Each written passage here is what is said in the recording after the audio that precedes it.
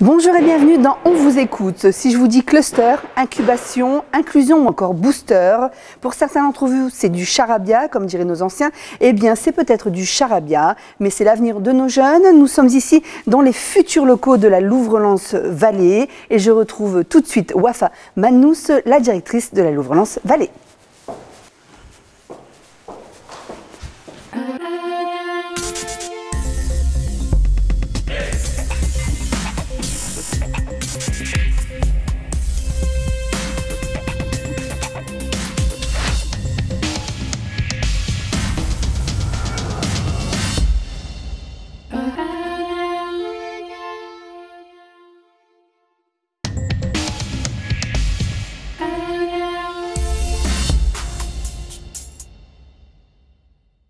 Moi, Famanous, bonjour, comment allez-vous?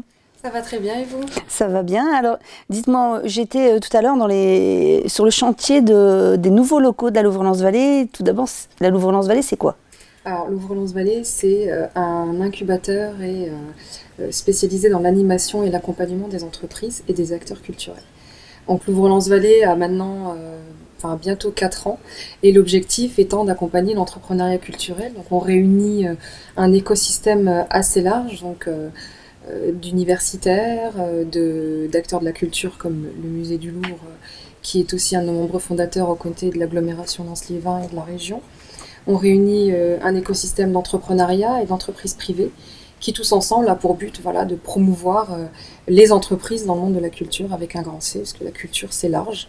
Ça va euh, aussi bien de l'expérience utilisateur du musée, euh, l'architecture, de l'audiovisuel, euh, de la data, de l'innovation sociale, du design, architecture. Enfin voilà, ça couvre un champ assez large. Tout ça pour économiquement produire des entreprises viables et prometteuses. Alors on parle, euh, on utilise des mots euh, spécifiques comme euh, incubateur, cluster, booster. Qu'est-ce que ça veut dire tous ces mots dans, dans le domaine du numérique et, justement de, de la Louvre-Lens-Vallée eh ben, vous faites bien de poser la question parce que c'est vrai qu'on fait un exercice quotidien qui est de vulgariser ces termes parce qu'on a le jargon dans le monde du numérique comme on l'appelle.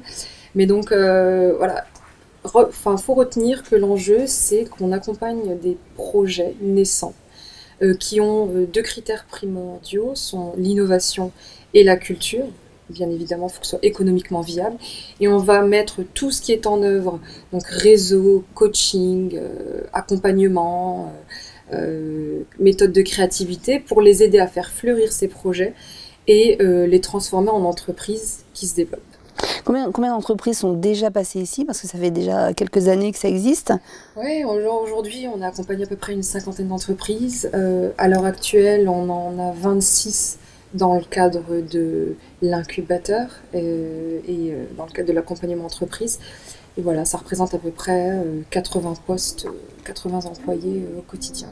Et combien, combien de projets sont, sont vraiment viables et ont, vraiment perduré depuis le début de la Louvre-Vallée on a des chiffres assez bons. Euh, en gros, euh, on a euh, depuis le départ, toutes les entreprises accompagnées sont encore, à part deux, trois projets qui n'ont pas pu continuer, sont encore aujourd'hui vivantes, continuent de se développer très bien pour certaines, moins bien pour d'autres mais on a des chiffres qualitatifs qui sont, assez bons.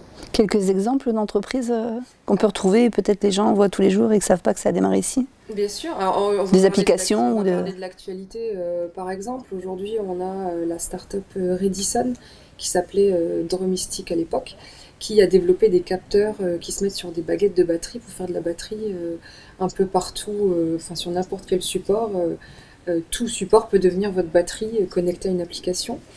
Euh, on a euh, des success stories de l'époque comme Urbic ou Boucle d'oreille qui sont des startups qui sont passées par ici et qui, continuent de se développer.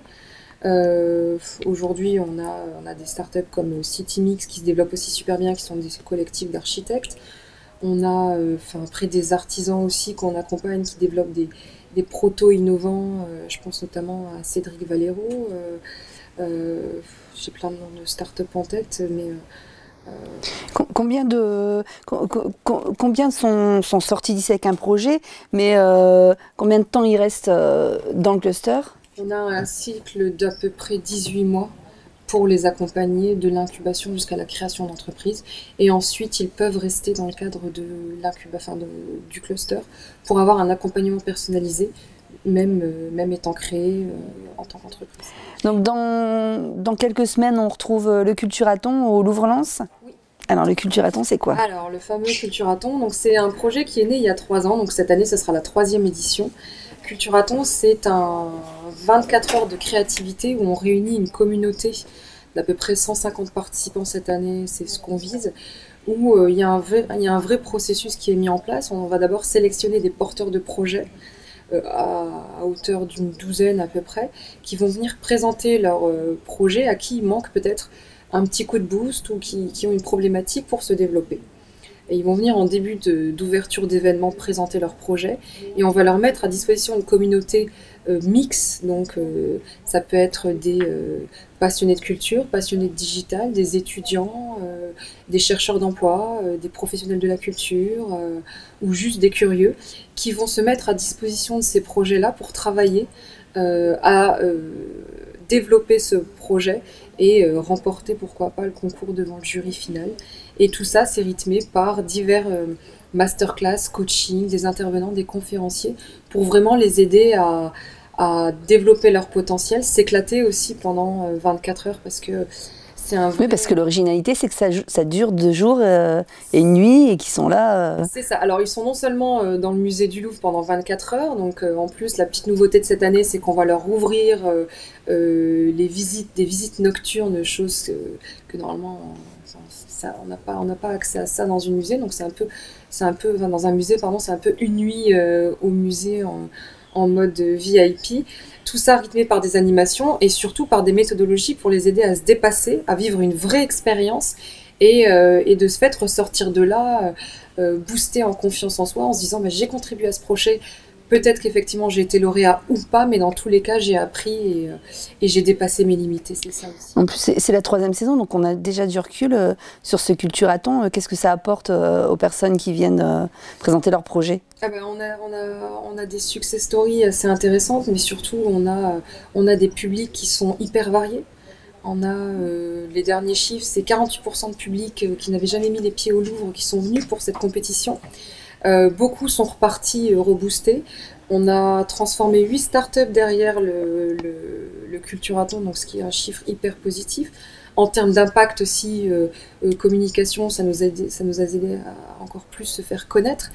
Et puis surtout, le retour de la plupart des participants, c'est j'ai pu découvrir des ressources en moi et j'ai pu me développer personnellement. Certains ont, ont permis de monter leur projet en entreprise, ce qui est le cas pour les huit dont je parlais tout à l'heure, et d'autres ont, vécu une expérience professionnelle euh, et puis une expérience, je pense, utilisateur unique. Il y a un âge euh, pour participer à ce culturaton ou, euh, c'est libre Au contraire. c'est mixte aussi, des filles, des garçons Mais justement, là, on, est, on a des chiffres assez intéressants. Parité homme-femme, l'année dernière, on était à 47%, et ça va du 15 jusqu'aux 75 ans. Donc on n'a aucune limite au niveau du profil, au niveau de l'âge, peu importe d'où vous venez. Euh, si vous, êtes juste motivé par apporter votre pierre à l'édifice euh, de ces peut-être futurs projets qui naîtront euh, lors de ce culturaton, inscrivez-vous. Ça peut être quoi comme projet par exemple? Alors, cette année, la thématique, c'est important qu'on le précise, c'est l'inclusion sociale. Inclusion sociale par le biais du numérique et de la culture. Ça veut dire que si vous avez un projet qui répond à cette thématique, qui se veut innovant, et, euh, et, qui, euh, et qui vous tient à cœur, vous pouvez venir candidater en ligne sur le site du louvre-lens-vallée.com et déposer la, votre projet et il sera euh, étudié en jury et peut-être sélectionné pour faire partie du culture. Par contre, il faut aller vite parce que les inscriptions sont presque closes. C'est ça, on les prolonge jusqu'à fin de semaine pour laisser la chance aux derniers arrivants. Mais voilà, le mot d'ordre, c'est postuler, c'est maintenant ou jamais. Quoi. Bon, merci beaucoup. Ben, merci à vous. Euh, on, se retrouve alors euh, avec Wafa Vadnous au, au Louvre-Lens-Vallée les 11 et 12 décembre, hein, c'est ça euh, Pour toute une nuit de, projets qui vont fuser dans, dans tous les sens. retrouvez les inscriptions sur le Louvre-Lens-Vallée Et puis peut-être préciser aussi que cet événement se veut aussi ouvert au grand public. Donc on aura deux temps forts pour le grand public. Ils pourront venir challenger les porteurs de projets et les équipes le premier jour, donc le 11 décembre, et ils pourront venir assister à la clôture des projets euh, à la scène du Louvre dans l'amphithéâtre le 12 à partir de 17h. Merci beaucoup. Alors vous venez d'écouter euh, Wafa Manous, directrice de la Louvre Lance Vallée. Rendez-vous la semaine prochaine pour un nouvel invité.